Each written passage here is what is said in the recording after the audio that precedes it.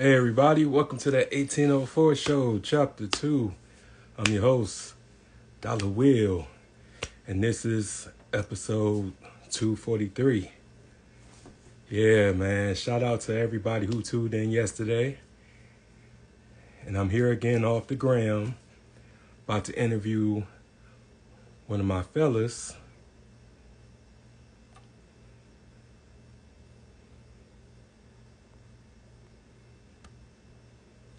Good friend of mine. Been knowing this cat for a minute, like over 10 years. and we used to work together too. So this is first time on the show. I wanted to make history. I think I'm his first interview. Hopefully, I am. So I wanted to um, bring him on here.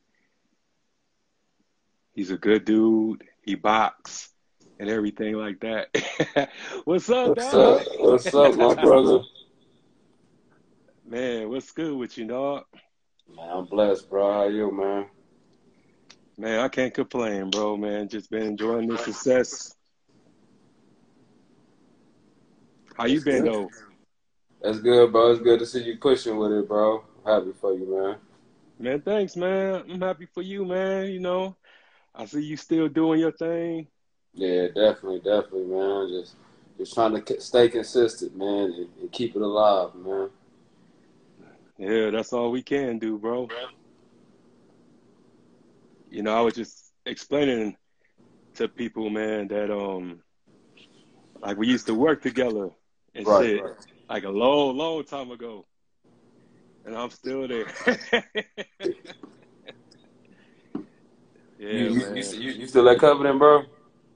Yeah, bro, I'm still there. I, hey, hey, it's a career, bro. It's a career, man. Most most people ain't got that, man. It's a blessing just to be able to you know what I'm saying, make a living and be able to pay your bills, you know what I'm saying? So that's a oh, blessing no. within itself. Oh, no doubt, man. Sure, I'm doing what you used to do. Exactly, exactly. Yeah, so I wanted to get you on here, bro, to because basically to know about you and everything. You know, I know a lot about you, but the people don't know about you like that. So right, right. So I wanted to, you know, ask you a few questions and mm-hmm. and you you can pretty much, you know, answer it best way you want to. yeah, bro. So um tell the people like where you from and like how you grew up and everything like that. Uh Saginaw, Michigan, from uh Buena Vista. I went to pretty much, you know, all BV schools, you know what I'm saying, coming up all the way from Henry Doerr all the way up to, you know, Buena Vista High School. So mostly me and all my Buena Vista people, we, we all locked in, we family, you know. And I just come from a pretty good, you know what I'm saying, loving and, and genuine family. You know, they always showed me a lot of love and, you know, introduced me to God. And that's just what I try to keep going in my life right now. And, uh, introduced to my daughter as well. You know. Oh yeah, man! I wanted to tell you congratulations on that too. Appreciate it, bro. Yeah, because I remember what what we used to talk about when we hung around each other, man, and I remember just you know wanted to you know find love and just settle down and start a family and everything. So right. I'm happy that she was able to do that because it's difficult nowadays to really find somebody who really mess with you tough. So congratulations to all of that, man. And and yeah, man, I had um added your dad yesterday. Really? I you, yeah, I didn't know you was a junior. Yeah, I'm I'm actually I'm actually the third. Yeah, I'm actually the third. He the, he the junior. Damn. yeah, yeah. So we we just we just we just try to keep the legacy going, you know. Hopefully, one of these days, I might be blessed. You know what I'm saying? To, to have a fourth. You know. Yeah, that's what's up, man. And it's, it's and it's really important, bro. Like to to have black fathers, man, because society make it seem like they don't exist, or when they do exist, they're not uh, in their kids' lives and stuff. Right, not right. even in their adult children lives and and we need to you know destroy that narrative because yeah.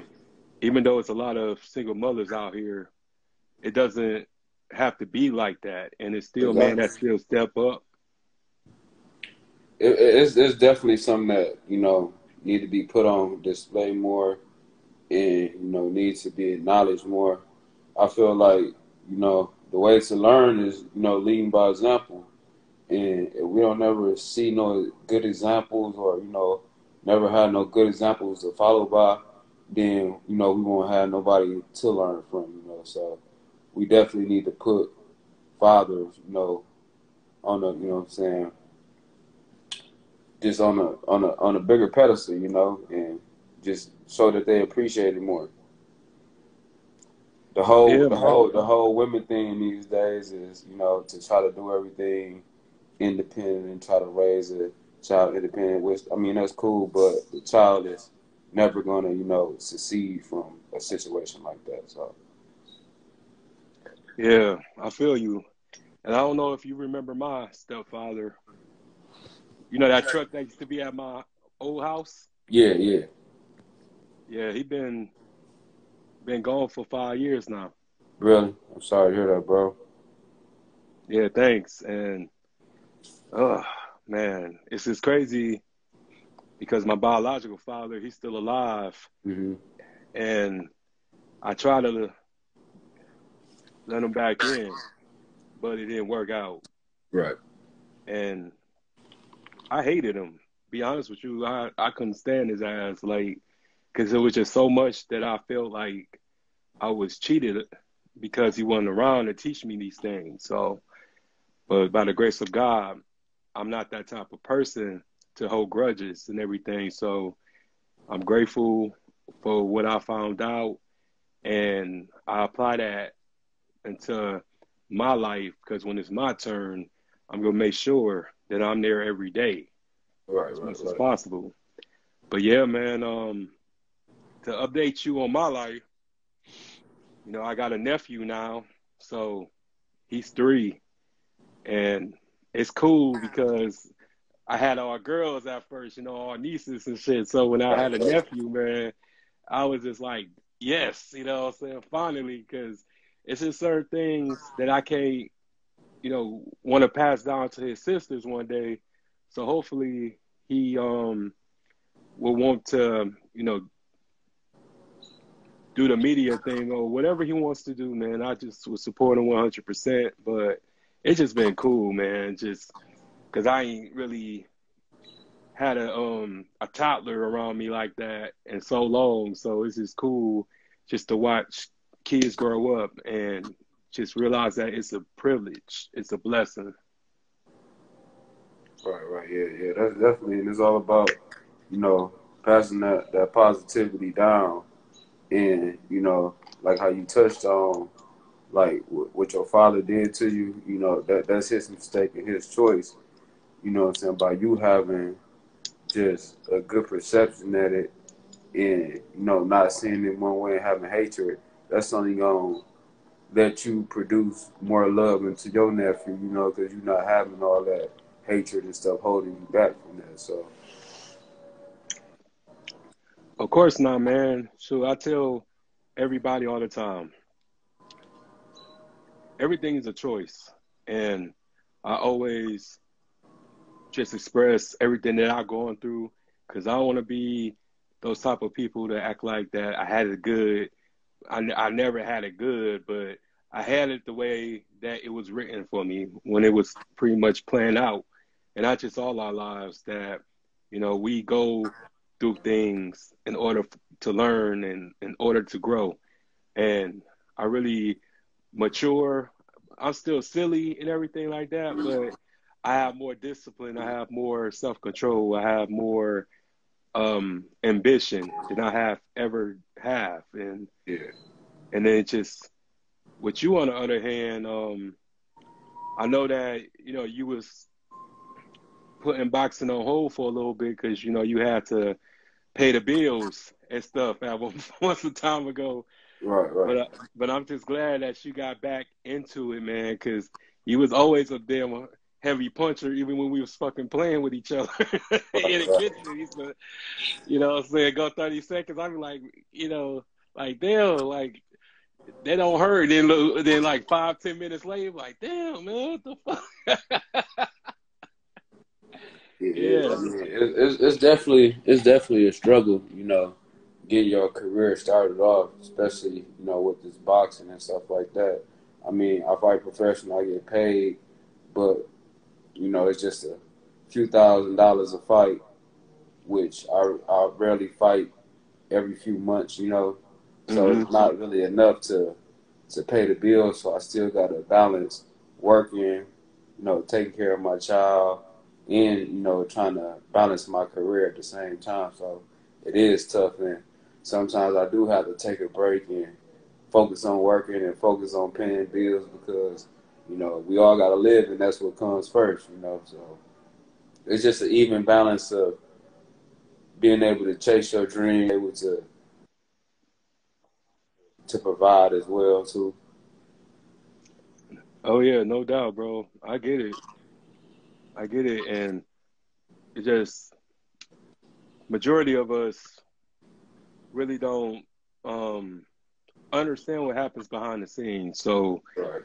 So how's your like regiment, like your workout thing? You know, I ain't go, you know, want you to tell all your secrets and shit like that, but uh, just go along with and how you prepare for a fight. Like, what's like the first things you do and and stuff like that.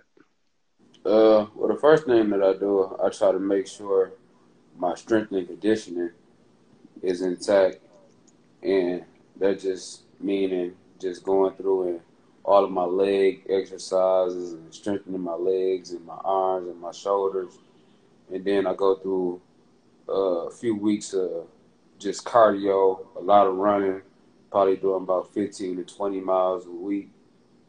And then uh, I got my regular boxing gym workout that I do uh, probably about two or three hours a day, uh, about five to six days a week. So with within boxing itself, it's a full time job. You know, so for for me to be working in boxing at the same time, it's a lot, and it's a lot. It's very taxing on my body. Yeah, I feel that. yeah, that's what's up though, man. Like, was it hard? Like when you first um became professional and stuff like that? Yeah, I mean, it, it was real hard. I mean the I, I, believe I think the hardest part of it was just getting a name and developing connections and just getting experience. The hardest part of it was, you know, just handling the business. I, I always been self managed, where you know, a lot of fighters they they they have managers to take care of their traveling expenses, or you know, I'm saying setting up their medicals and negotiating fights. I do pretty much 100% of the work myself. I negotiate my fights. I set up the travel. I, you know, uh, hire my trainers. Everything is pretty much on me. Okay. Okay. yeah. So, so that's that's that's really the was the difficult part of it for me. Is just really just getting that knowledge of you know being a manager and being a fighter at the same time and being able to you know, train and do the business part of it at the same time. That was the biggest, biggest challenge. Okay, so tell us about your toughest opponent and your toughest fight. My toughest opponent and toughest fight. If you recall. I mean, well, I just fought this past weekend, and mm-hmm. I can say that one was pretty tough because uh, I was battling the flu. I had the flu all week. And, uh, I, went, I went up. I went. I went up in weight. Uh, mm-hmm. So I normally fight at uh, 154 pounds or uh, 147. I walk around at 162, 63. So I normally drop about 15 to 20 pounds before I get ready to fight. Mm-hmm. But this fight was a little different. Um, I actually had to go up in weight. So uh, I had to fight at 168 pounds. And I fought a much bigger guy. He was coming down. He was coming down from 190 pounds to 160. And we weigh in the day before the fight. So when we weigh in the day before the fight, they give us enough time to rehydrate back up to, you know, our natural weight. You know, mm-hmm. so we're about I was still a 100 natural 60 pounder. He rehydrated back up, you know, to that 190 pounds that he was. So, like I said, that was that was a difficult fight because I'm I'm going there probably 20 pounds lighter than the guy, you know, on fight night. So he was coming there. He was throwing a lot of heavy punches and haymakers and stuff like that. And I just had to stay disciplined and remember to keep my hands up and move my head and use my boxing skills. And I was able to come through with the decision. Even having the flu. that's what's up, bro. Because you know that's a that's that's a sport that's very um I would say chosen. Everybody yes. is everybody can't be a boxer. It's a difference between being a street fighter and being a boxer. Yeah, it, it, it very. I mean, it's a it's a very grueling sport.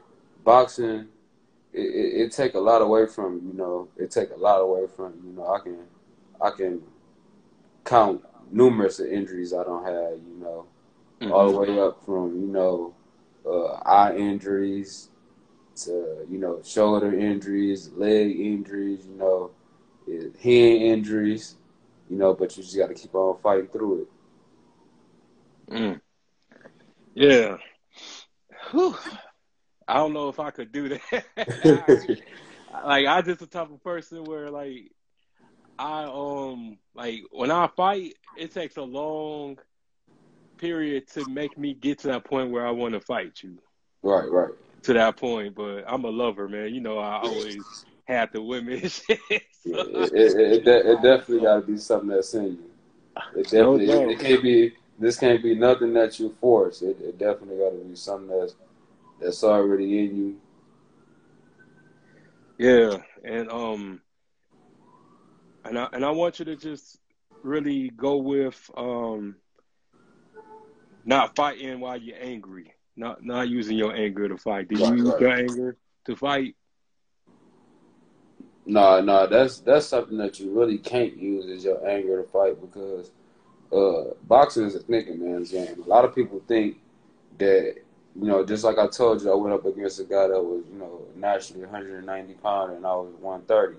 Mm-hmm. It's a thinking man's game, so whereby a lot of people think it's about being strong and being fast. You can outsmart your opponent you can make him make moves that you know just pretty much force him into a position that where you want him at. It's more so like chess, you know, just forcing your opponent into a position where you want them at and you capitalize on it. That's what boxing is all about. And a lot of people don't know that. It's, it's, it's about the science of it. You know? And that's what I try to perfect when I'm fighting. Okay, and and I remember when you met Ali. How about you explain that to me? Man, you know, that's that's that like story. So that's that's like one of the, the highlights. That I mean, that is the highlight of my life. I mean, like you got to think Ali. He he wasn't only a, a, a sports historian, but he was just a historian for our culture. Mm-hmm. You know, for the world, for humanity, for you know a lot of things that Ali stood for. He was just a, a great person, and I met him probably I had to be about ten years old, and um, I went to a boxing trip uh, in uh, where the hell was that at? Uh, in Berrien Springs, Michigan. That's where he's from. Mm-hmm. And uh, we had a friend that was real close to him, and he ended up going to his house, and he told us that he was there. So we went along for the trip, and he he was just a, he was just a great man. He he told jokes. Uh, he was doing magic tricks, and just he was just an entertainer. He still was an entertainer, you know, even though he was up in age and he had his health issues. You know, he had the Parkinson disease. Mm-hmm. He still was an entertaining and just a kind-hearted man. He welcomed us into his home, and he hardly even knew us. You know, a gated home. He probably had about probably had about like five houses all on one property, and then he had like a gym, a basketball court, an office. Everything was all on one property. And he just welcomed us in with open arms, you know, without even really knowing us. So, That's yeah, good, man. That was definitely a experience, man. Yeah, to be next to somebody who met Malcolm X and Sam Cooke, mm-hmm. Elijah Muhammad, man, that's exactly, that's exactly. that's dope. exactly, man. That's definitely a, a highlight of my life, man. Yeah, and I just see you going far, bro. I see you being that on Showtime, ESPN. Mm-hmm. Just because you got it, man. You got it. Appreciate it, bro. Appreciate it, man. I just uh I give all glory to God, bro, because it's a lot of times that my journey could have been ended short, you know, with this whole boxing career. And, you know, he sustained me. So uh, what I do is every fight that I have, I always come out, you know, in gospel music, you know, and I try to represent God and just show the people, you know, where my strength come from, and I try to impact the whole crowd, and I feel like that's the best way that I can do it is just come out on gospel music. And it actually do work. It actually do work. I actually do touch a lot of people, and you know, able to reach a lot of people throughout that. And that's just what I want to do with my career. Is just be able to, you know, represent him some type of way with what I do. Yeah, that's what's up, man. And and I wish you nothing but the best. And like, do you have any favorite boxing movies? Because you know a lot of people watch Rocky, a lot of people watch uh, Undisputed. I think my favorite boxing movie uh Southpaw. It came out a few years ago. Yeah, yeah, that's you dope. seen that. Yeah, yeah, I like that. Yeah, yeah, I, I like that movie a lot, man. I don't know. You remind me of Omar Epps in the movie against all against the ropes. Yeah, against the ropes. You seen that before? Ah, uh, I can't say I have. Yeah, you got to check that out. You will see what I'm talking about. yeah, it's a good movie, man. It's it's it's it's it's really a lot of life lessons in there too. Yeah, yeah, I'm, I'm definitely gonna check that out, bro. Yeah, because I just I just tell people, um, especially um, my platform is based off mental health and going through depression and going through um, grief, pain, mm-hmm. and this and that. Like your biggest opponent is yourself. Exactly. And and when I just embarked these past almost eight years, bro, like um, being able to um, ask for help, being able to say I'm not okay, and being able to just admit that I'm human. Mm-hmm. And that's the biggest um, misconception in society, just us as being men, is that we like to be tough. We don't like to show our emotions. We don't like to be um, needy and stuff. And it's okay to admit when you need help because you're only one man, You're only one vessel, and and I just think that a lot of things can be avoided if we admit that we need help because we all need each other. Yeah, it, it, it, ain't never nothing wrong with needing help, and uh, you can never, you never really can receive nothing if you always uh, too prideful, and you know your perception is that you want to be a macho man and do everything on your own, and you don't need help. You know that, that that's all we on this earth for. if then nobody need help, then it only be one person on the earth. You know, we all need each other to you know make everything go around, and that's the way God meant it to be.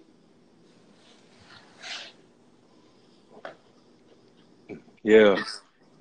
And I'm just grateful just for my second chance and and obviously yours and just want to make it just count this time and and that's why I just have on my show.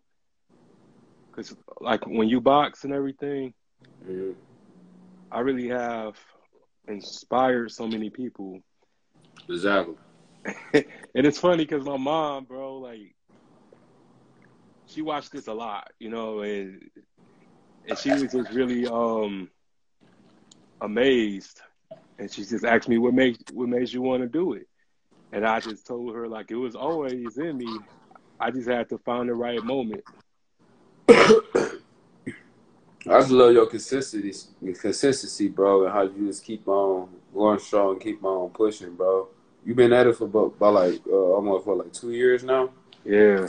Yeah. Yeah. you've, been, been going strong for a while, bro. I've been paying attention to you, man. And thanks, man. Shoot, you know, I always like paid attention to you and said, you know, because I know you don't live here anymore. So I was just hoping, like, man, whatever he, whatever he um is doing, I, I just hope he doing what he's good at. Exactly. And and that you're happy, man, because it just a lot of people go astray and begin to you know become average when they was just special, and then mm-hmm. they became average and stayed average. And I'm glad that you're not staying average. And and I know that you have um, a mission after this boxing thing. I know you just you, you're using this right now to uh, you know get your foot in the door. But I know that you destined for greater things. Oh yeah, yeah, definitely, man. Uh, besides the boxing, uh, I do auto collision as well. Uh, I got love for cars. I went mm-hmm. to school uh, to Lincoln Tech, and uh, I graduated my with my associate's degree in uh, 2017. It ain't really nothing that I uh, put on the back burner or nothing like that. It's just that um, I know with athletics and especially professional athletics, you gotta you gotta cash in, you know, when you got your youth. You know, I'm I'm finna turn 32 this year, so I want to box at least until I'm about 38. Mm-hmm. So I probably got about a good six and a half years to push through and you know make happen what I want to happen while I still you know got my body able with me. So that's all that uh, I wanted to do is just focus on this boxing thing right now, and then after that, I'm I'm gonna tap into my auto collision career and uh, take off with that as well. So I, I, I tried to try to try to plan it out the right way. Yeah, sounds sounds like you already got it planned out, man. really ain't much to to plan. You you got your mind made up, so that's good. Cause I know a lot of people who in our profession um, they don't have a exit. Exit at all, and, and it's pretty much a lot of people get trapped into uh, you fight, you spend your money, then you fight again, you fight again, and we're getting caught up in that trap. That's how a lot of boxers, you know, like Ali and uh, other fighters, don't end up brain dead and you know mm-hmm. not able to have all their faculties is because they have focused so much on boxing to the point where they depend on it and they need it. And a lot of promoters and a lot of matchmakers, uh, they know that. So they use that to their advantage, and a lot of fighters get abused. So you definitely got to be able to uh, to know how to protect yourself and to have an exit plan. And sometimes I learn how to say no because I don't even been you know taken advantage of. Mm-hmm. Uh, they, they, they, they, they do it to anybody. They do anything that they can just to make a dollar. You just really a dollar to them. You don't. They don't even look at you as a person. Yeah, I learned that too, man. That just in any any field, you know what I'm saying? Because because the devil will never show up as your enemy. The devil will show up as your friend first. Right. and I learned that so quickly, bro. And and I took a lot of losses as well, but I just keep going. Yeah, that's that's that's what it's all about. It's just having that fortitude, having that mental fortitude. I mean, I'm pretty sure. Well, I know all of us get faced with challenges because you know what I'm saying. The devil is real. And he's gonna try all mm-hmm. of us. and He's gonna test all of us. So everybody had these same challenges. It's all about those individuals who can, you know, keep pushing and have that mental fortitude to, you know, keep going and not give up. Yeah. And and also, man, I wanted to ask you what was just like the hardest thing that you had to learn just with boxing. Um, I mean, you went with like like the conditioning part, but is it hard to just stay consistent? Oh yeah, definitely. I mean, uh, the hardest thing is the consistency and you know the discipline. That that's that's one of the hardest things. You know, uh, Mm-hmm. just uh, giving up a lot of things. You know, partying, drinking, smoking. I mean, it's just a lot of things that you just really can't do. You gotta, you know, stay consistent to your sport. So it just that's that's probably the hardest part of it. Is just just the discipline part of it. Okay, bro. Well, I ain't gonna hold you up much longer, man. I know that you got a busy day ahead of you tomorrow, because I do. I gotta go to work, Yes. so I Yes. ain't even gonna front. But yeah, man, I enjoyed this, bro. Man, this is I dope. enjoyed you too, bro. Man, it was good to see you, man. Good to talk to you. Good to be on the show, man. I just hope you keep on keep on pushing and keep on growing, man. Man, likewise, my brother. And anytime you want to come back, man, and give us an update, sometime like six months from now, man, you, you good, bro. All right, definitely, bro. Definitely. All right, man. You take care of yourself, man, and have a good night. All right, bro. God bless. Peace.